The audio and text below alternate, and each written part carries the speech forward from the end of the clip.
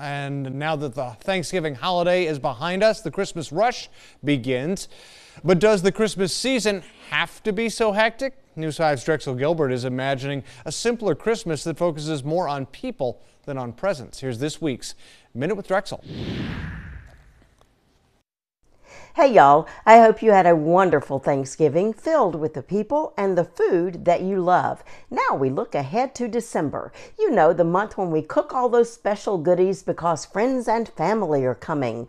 The month when kids are on their best behavior because Santa Claus is coming. The month when churches plan all kinds of special events to celebrate the fact that long ago a special baby was coming. This year, why don't we be intentional about making Christmas better by making it simpler? One way we can do that is choosing events that bring our families together instead of scattering us apart. Instead of ticking off names on the to buy for list, why not consider giving the gift of time to the people that you love? In our family, we've taken to giving memberships to aquariums or museums or tickets to concerts.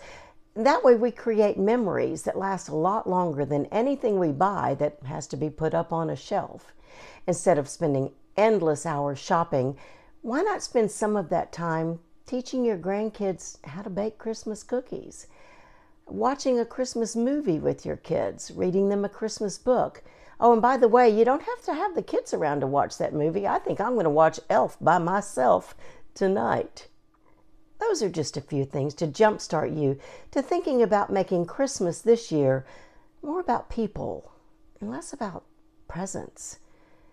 I think that special baby who was the greatest gift of all so very long ago would like that.